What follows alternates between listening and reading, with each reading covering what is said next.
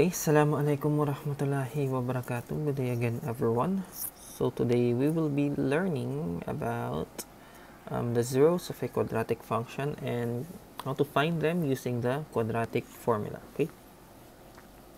I have already written here on the board the quadratic formula that we will be using for today, which is actually ito lang naman uh, this is the only quadratic formula that should you should know of and memorize. Okay. And then beneath that is the standard form of the quadratic function, which is of course f of x is equals to ax squared plus bx plus c. Wherein a, a and b, a, a, b, c are elements of a real number, of course. Let me just write it down. a, b, and c are elements of real numbers. And at the same time, um, a cannot be equals to 0. Hindi siya pwede maging 0. Okay? Then, of course, the a and b are the numerical coefficients of x squared. Yan, numerical coefficient, the number part. b is the numerical coefficient of x, yung raised to 1. And then, of course, we have c, which is known as the constant. Okay, so before you can actually evaluate this thing, what, what you need to do first is, of course, um, to make sure that your given is in the standard form. So what do I mean by that? If you're for just ex example before we solve anything. Say you have y is equals to 2x squared plus 5x minus 2 plus 3x like that. Okay you must combine everything. You will notice that the x squared here is 1 bx is 1 and c is just simply 1 so if you will notice here there are two x's. Okay? So you need to combine them. Combine them based on their signs this one is positive and this one is positive so that would be positive 8x and then of course arrange them in a sense na you can easily identify the a b and c's. So let me erase that. Oh i can't erase that. We just select this. Okay. Okay. So now let's proceed with our examples okay? Um today we will be solving four examples okay and our very first one is f of x is equals to x squared plus 6x plus 9 okay so the very first thing that you need to do here is identify what is your a what is a what is b and what is c because you will need that to plug in into your um, quadratic formula. Okay and if you can easily observe that, it does not matter if you will write it or not. Okay? But in any case, if you're having a little bit of troubles, you can write them down so that you, it's very visible to you. Okay? As for this one, if there is no numerical coefficient, it's always 1. So we have 1. Then this is 6. And then this is 9. And then you just simply need to take the operation before it. So if by any case this one is minus, then you have negative 6. If this one is minus 9 then this is negative 9 okay? So having a b and c's of course we have this one our formula. Negative b plus minus the square root of b squared this one ito i'm reading this one minus 4ac okay all over 2a so let me just write our formula here.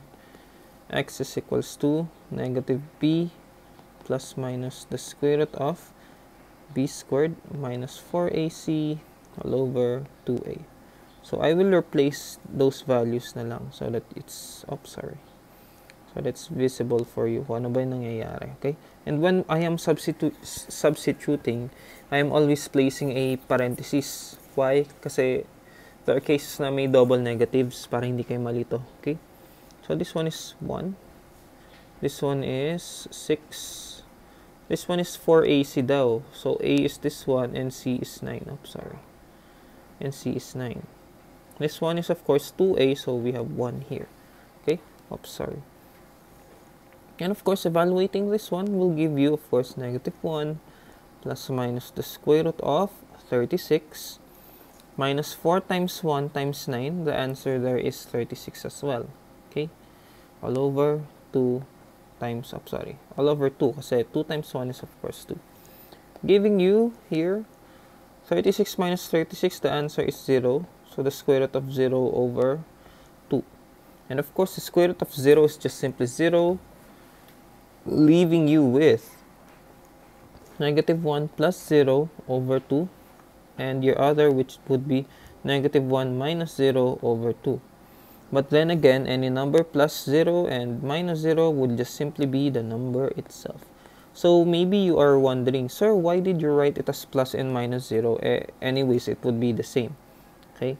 So I wrote it down because there are cases that if if this is 3, then this would be plus 3 and minus 3. So of course that would be different. Okay? So plus and minus is very important here. Plus and minus is very important for you to separate. Okay? So since they are the same, so just simply write them as negative 1 half. Okay? So this would be your answer. x is equals to negative 1 half. And of course, trying to um, trying to um, plug in this one into your given, then oh wait, is it really 1 half? I think I I wrote um neg oh sorry, this is not 1. This should be 6, sorry. So that's my mistake. Anyways, um, it's medyo malapit lang naman. 6 here, then 6 here, and then 6 here. Nothing changed. Okay, nothing changed. 6 and then 6, then 6 and then 6 and then 6. And negative 6 divided by 2, the answer is, of course, negative 3. So yeah, I was wondering because it's, it's a perfect square trinomial. This one, perfect square trinomial. So it should be 3. Anyways, so yan. So your answer would be x is equals to negative 3. So again, this one is a 0. Meaning, if you substitute this given, or this value, sorry, to your given, the answer should be, for the function, should be 0. So going back, our function is of course f of x is equals to x squared plus 6x plus 9, okay? So this one should be negative 3 squared, right? Plus 6 times negative 3 plus 9. So, negative 3 squared, the answer is just simply 9, right? Plus 6 times negative 3, the answer is negative 18 plus 9. So, again, as I've told you before, kung hindi nyo gagalawin, wag nyong aalisin. If you did not touch, do not remove. So, this is the only thing that you touched or evaluated. So, it's 9 this one's negative 18 positive 9 it will not change so you leave it as is okay? Evaluating this one will give you a zero using your calculators okay? So leaving your this is our checking pala leaving your answer for the value of x or the zero correct because when you substituted to our given function the answer became zero okay so if it becomes 0, then of course yours um, the value of your x is correct. Okay, so that is our first example. I do hope that you got that. Okay, next one we have f of x equals to x squared minus x minus 20. So I think the answer here should be 5 and 4. Okay, uh, so it's uh, actually it's positive 5 and negative 4. Okay, so let's um, check whether our answer would be correct. Positive 5 and negative 4. So again, our the first thing that we need to do is of course to identify what is our A and our B and our C. Our A is of course 1, B is negative 1, and C is negative 20. Okay? So knowing these things and our formula would be negative B, which is of course our B is negative 1. So it's negative negative 1 plus minus b squared. Our b is again negative 1. So b squared plus 4a, a is 1, and our c is 20. So it's negative, I mean it's negative 20, okay? So giving us this divided by, okay, divided by this one, um, 2a, 2 times a, which is of course 1 okay? So this is just by substitution lang guys okay? So evaluating again this would be 1 plus and minus the square root of 4 times okay? So we have this one is 1 squared. Negative 1 squared is 1 plus this one. The answer here would be um, 80 tama ba? 4 times 1 times 2 for 8 so it's 80 s negative 80 is negative 80 plus 4ac wait let me check whether I am correct. Okay anyways. Wait I think I we wrote something wrong but I don't know. Let's let's let's see.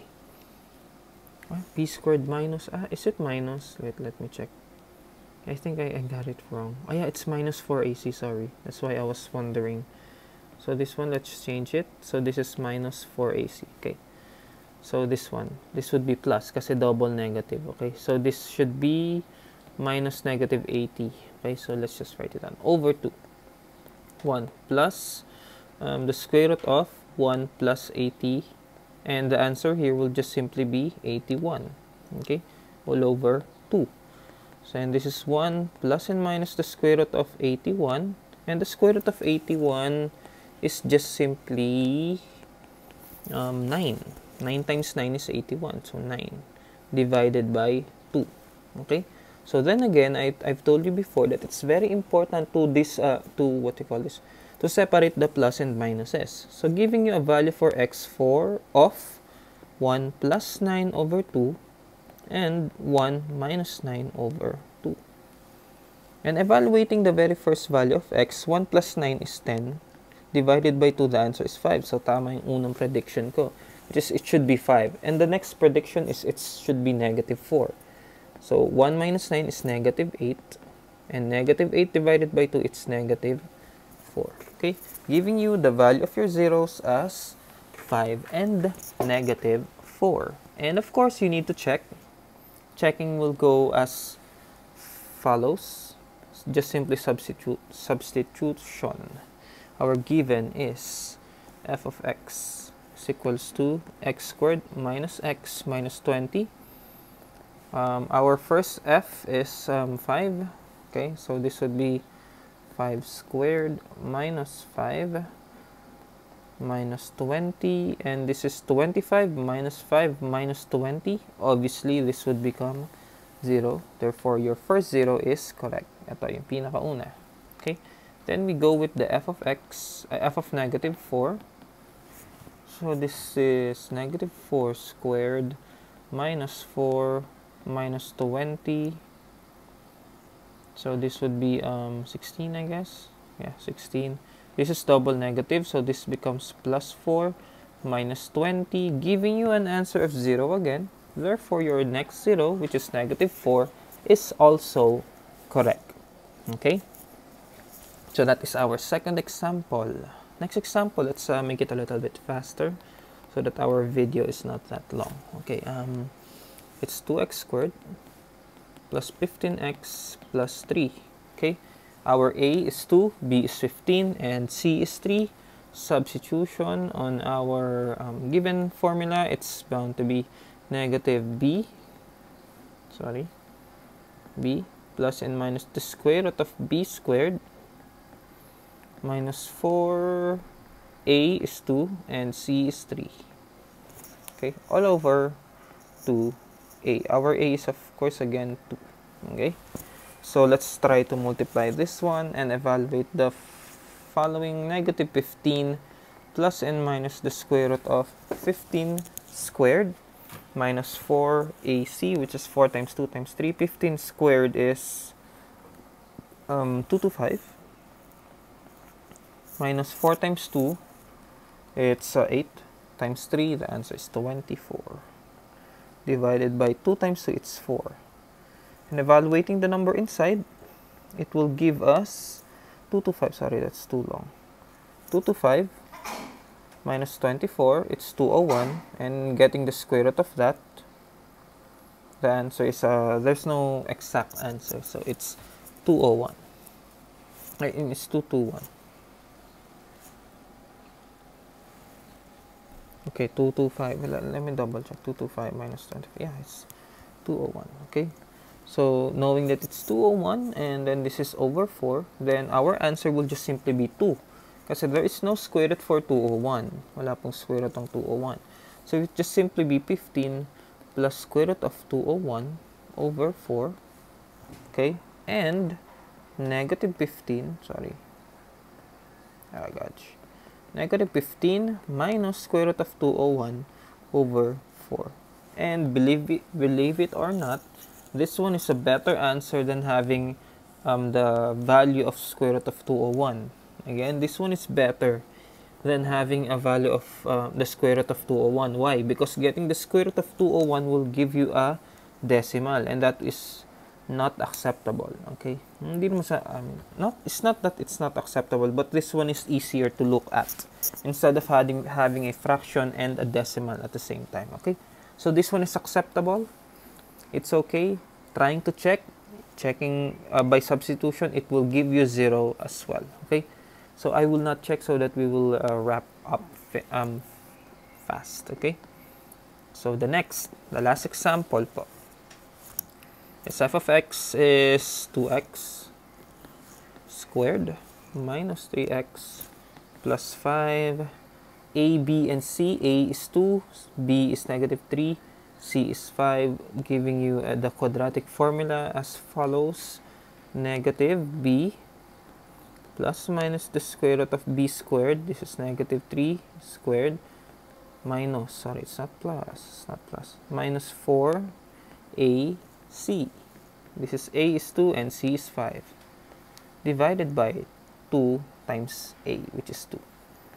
Evaluating, double negative po guys. So this would become positive 3 plus minus the square root of 3 squared is Negative 3 squared is 9. Does not matter whether it's positive or negative, it becomes positive. Minus 4 times 2 times 5. Again, minus 4 times 2 times 5. And 4 times 2 is 8 and 5, 8 times 5 is 40. Okay? Divided by 4. Okay?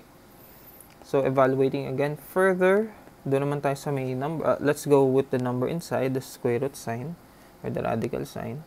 9 minus 40, the answer is 31. But it's negative 31 because the number after this one is much larger. Okay.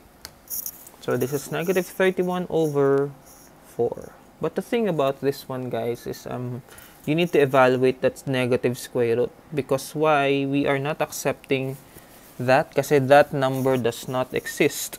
So meaning you will have an answer of 3 plus and minus the square root of 31i over 4. Okay, again, it's the square root of 31i over 4. And that would be your um, your answer. Kasi you cannot get the square root of 31 anymore. And what we did with the negative square root is we took it out, we removed it, and we replaced it with an i outside. Okay? So, lastly, of course, the answer should be 2 kasi zeros yan eh. It should have a positive and negative um, root, which is this would be 3 plus the square root of 31i over 4. And lastly, 3 minus the square root of 31i over 4.